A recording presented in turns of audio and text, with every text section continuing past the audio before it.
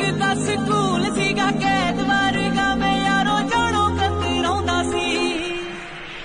ਹੁਣ